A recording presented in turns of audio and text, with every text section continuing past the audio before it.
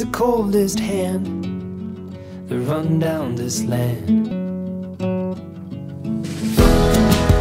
Everywhere you go, I'll be.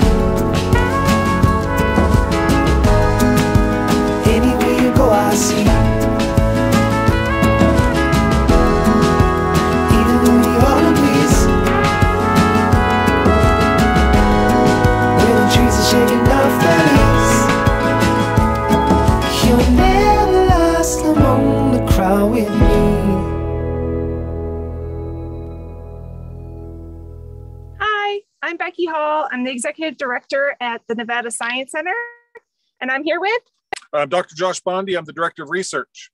today we're going to be talking about desert wetlands here in Clark County, Nevada. We're at the um, here at the Desert National Wildlife Refuge here um, at the Corn Creek Visitor Center.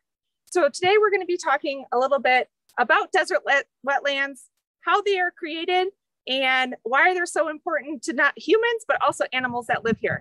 So Josh, you want to talk about um, a little bit first? Sure. So, like Becky said, we're here at the Desert National Wildlife Refuge Visitor Center at Corn Creek. So, we are on the very northern end of the north of the Las Vegas Valley. We're kind of situated between the Spring Mountains off to our west, which would be off this direction from the way I'm speaking to you, and off this way to the east is the Sheep Range and the Las Vegas Range.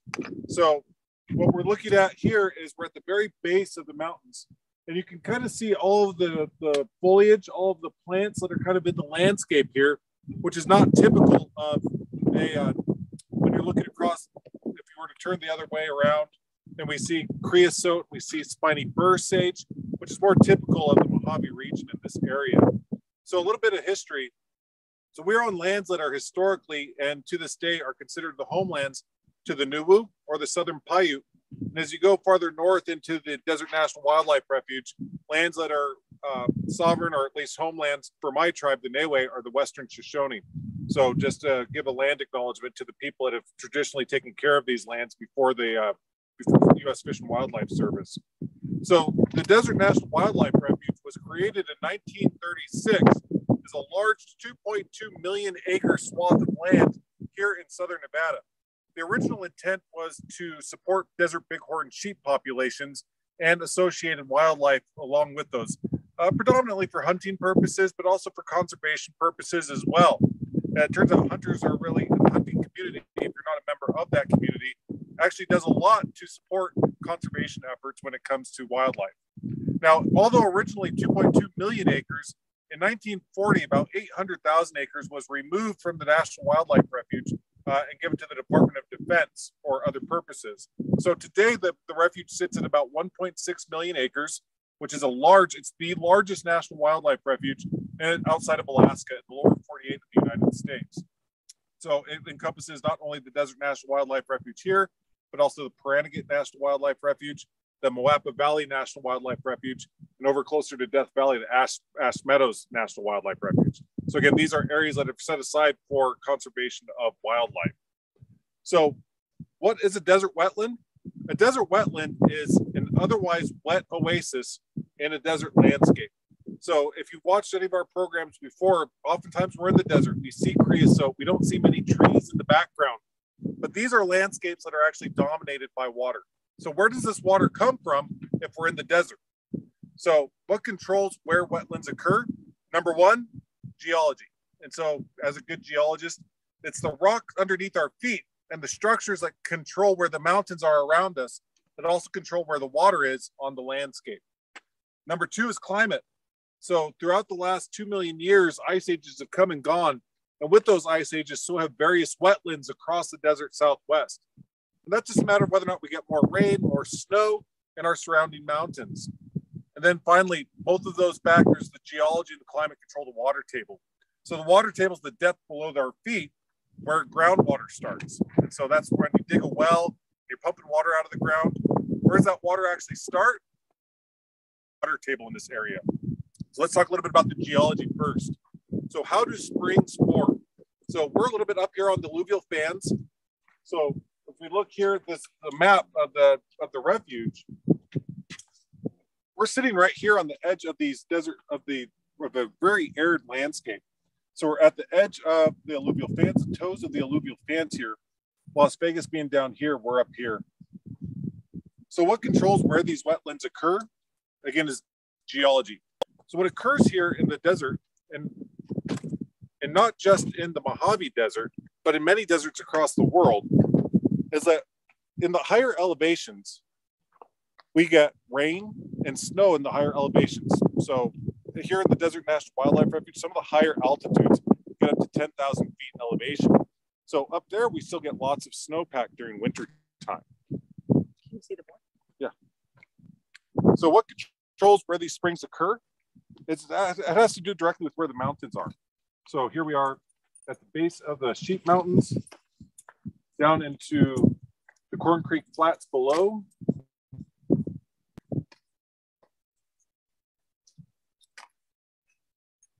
The Sheep Range.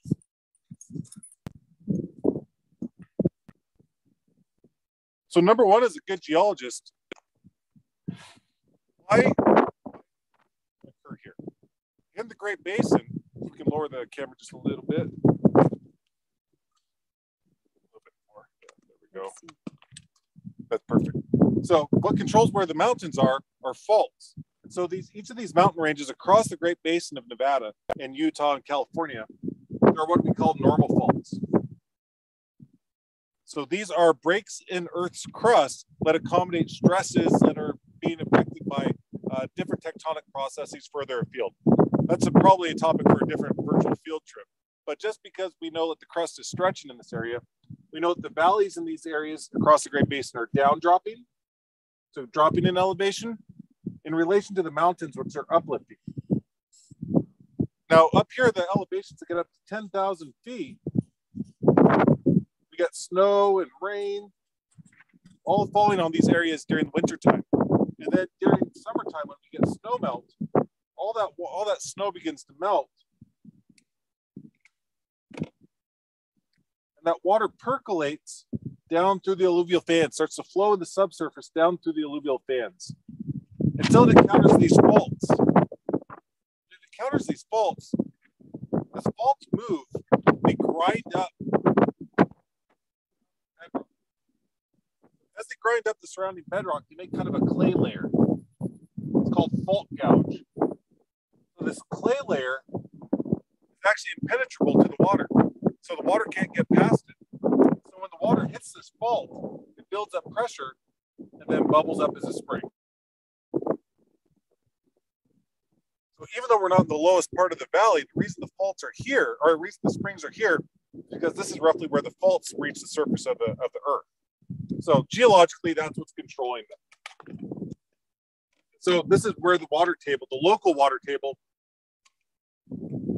intersects the surface. So the groundwater is right below our feet, right in this neck of the woods. Now the other variable of climate. So over the last two million years, uh, we've seen fluctuations on about a 100,000 year scale as glaciers advance and glaciers recede. That also increases the amount of precipitation here across the desert southwest. Now, great big continental glaciers like set on Canada during the last major ice ages never came this far south. But because they were so immense, they actually drove climate further afield. And so moist air masses came farther south than they do today. That moist air dumped on the mountains around us increasing the amount of water in the landscape and making these springs more active. So if you go to places like Tule Springs, which is right outside of Las Vegas, those were springs that were active up until historical time because of the climate differences. Now, because climate has dried up over the last 10,000 years in particular, those springs have gone dry. But we just happen to be here at Corn Creek where some of these fault controlled springs are still active. So there's still enough precipitation up in the Sheep Range, in the Las Vegas Range, that feeds these these natural springs here in this part of the world uh, still to this day. And so humans can actually directly impact the water table through water usage. But this isn't just a problem in the Las Vegas Valley. This is an issue across every desert landscape where there are human populations. So probably where you live, if you're anywhere in Nevada, there's probably a well someplace nearby which which provides water for your city when you're pumping groundwater out, you, all, you can also draw down the water table. So if you're pumping out more water than is being recharged every winter by snow and rain, then the water table gradually declines. So it'll go farther and farther in the subsurface. You have to you have to drill deeper and deeper wells, and in some cases, wells can actually go dry if the water table drops too low. If a well goes dry, it's pretty much done for because then it's stuck up uh, gravel and dirt and can ruin all the pumps and really all the sediment compacts and then it really doesn't hold water all that well anymore. In southern Nevada, this was a major issue, and if you live in the Central Valley of California, this is still a major issue. It's called subsidence. And so, as you remove water from the subsurface and the sediment packs, you can actually lower the elevation of a surface. So, there's some really dramatic examples of this near Sacramento, California. But there's also dramatic examples in the Las Vegas Valley as well, where there was enough subsidence but there was actually surface fissures that opened up in places like uh, North Las Vegas, which uh, ended up having to condemn a couple of houses, housing communities uh, during that period of time before they started regulating groundwater a little bit more. So, what controls where springs form, where desert wetlands form? Geology. So, are there faults underneath us? What's the type of rocks? Climate. How much precipitation is available to our landscape? And then finally, the water table. So how how how close is the water groundwater to our feet in the subsurface? And so that's going to control what Becky's going to talk about here next. All right. All right. So we're going to talk a little bit about the animals that um, thrive or depend on these desert oases. So not just humans. So there's been ranchers here um, throughout time and like uh, Josh said, indigenous people that took care of this land. Um, but animals depend on this desert oasis too. So not just recent or modern animals, but prehistoric. So Josh talked a little bit about, um, you know, the ice age here in Las Vegas was not the glaciers, but it was a lot wetter. So it really charged those springs up, which brought like mammoths um, camels, horses, giant ground sloth, would all you find these uh, watering holes or, or oases um, to drink into um, gather food. So today we have, like Josh said, we have bighorn sheep. So bighorn sheep, this is a very important place for them because they come down from the mountains. They can, they don't need to drink water every day. They can go, I think, like 60 days without water. Um, but they come down and they can get a sip of water. Um, we also have smaller mammals here in the desert. So kangaroo rats, um, hares, so rabbits that, that, and foxes and coyotes that utilize the water. Um, and it's also an important uh, place for birds and waterfowl. So they come here for migratory paths. Um, and we talked about a little bit that in our past uh, virtual field trip, but water is a very, very important source for uh, birds and ducks for when they're migrating north and south. So uh, we have different, uh, also in this ecosystem, we have different plants that, that thrive here. So we, like Josh was saying, we don't have the big trees. We have some yuccas around. I don't know if we can turn, maybe we can turn.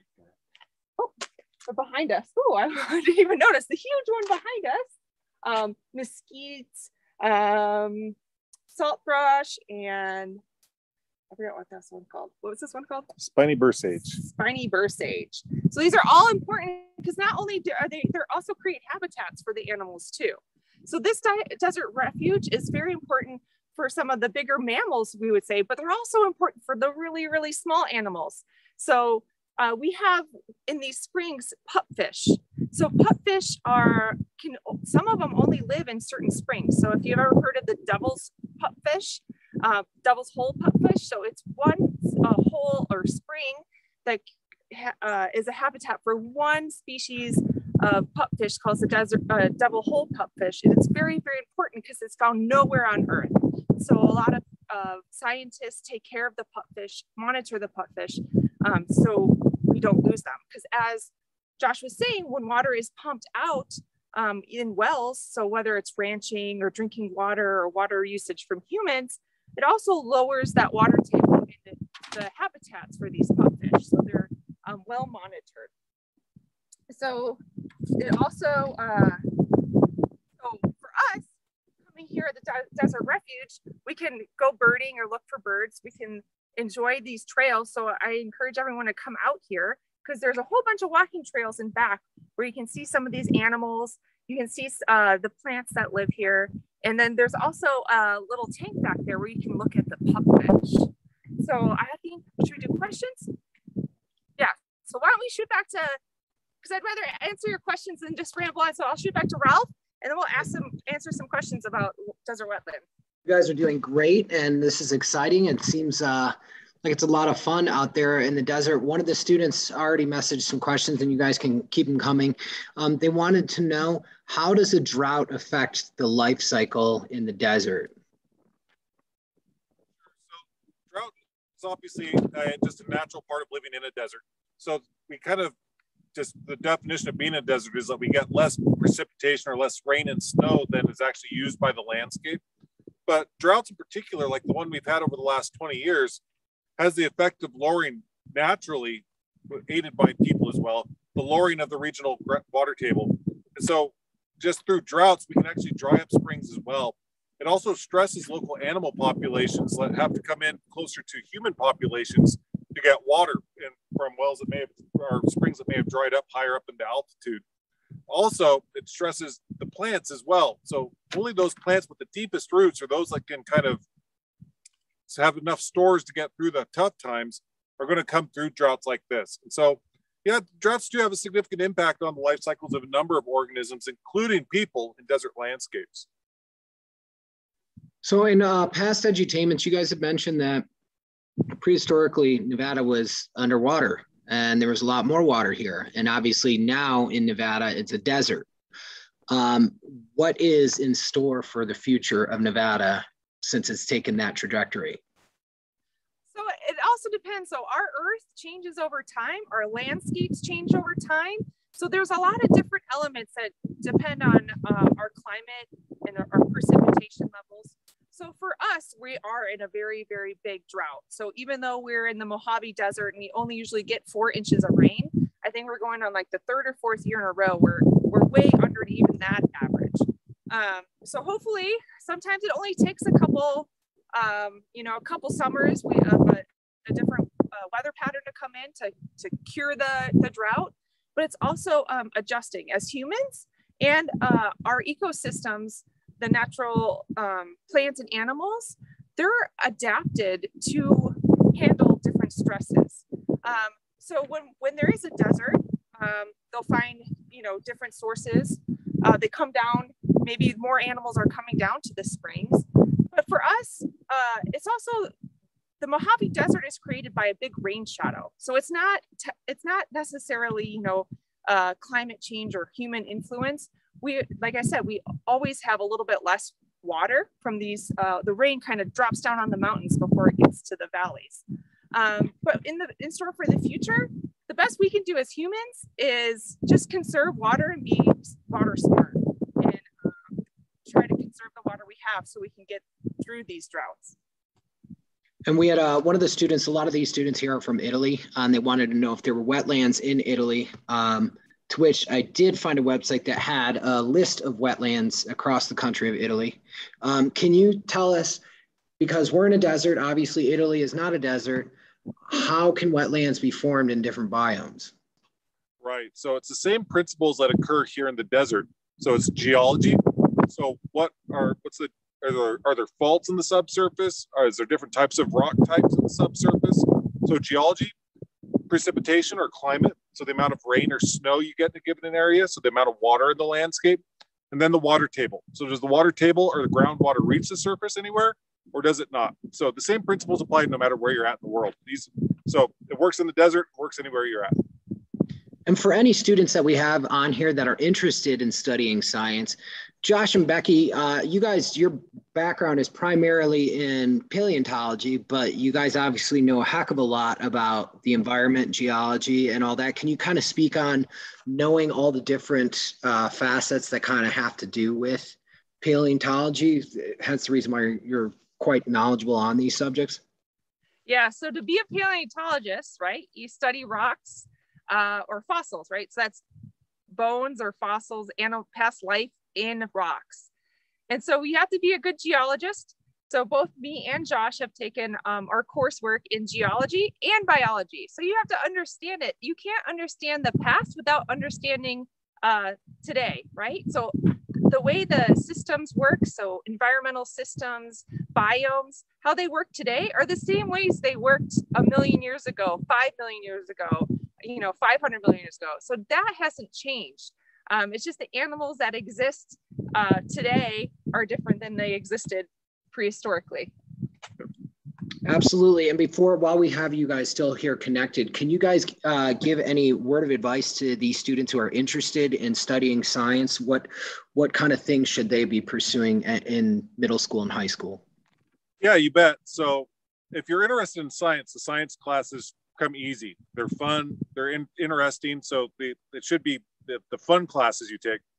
As a professional scientist, the classes that might not be as intuitive do good in your math classes. You can't do science without math. So if your math's a little bit difficult, find a tutor, find somebody that can explain it a little bit better. Math a lot of times comes from who's teaching it to you. Also, one that's kind of not very intuitive is your language classes. So you're reading and writing. You might be the smartest person in the room, but if you can't communicate, nobody's going to know that. So work on your communication skills, math skills. The science come easy. Yeah, and just go out and um, you know, besides being at school and the coursework that your your teachers are giving you, read on your own. Go out and and into you know a nature preserve. Look around. Um, just be more, be observant of the world around you. And before we let you go, um, can you guys tell us about uh, if they want to learn more about the Science Center? We obviously have it in the chat. You guys can check that out. And there's also a sign up list for their email list if you want to join their, their email list. Um, where can they go so we can have it in the video if uh, they want to learn more about the Nevada Science Center? All right, so that's a great start, Ralph. Uh, so head to our website. We have some resources on there, um, upcoming events. Uh, we also have our, for those who are local, we have our paleontology lab in downtown Henderson, so you can look us up there.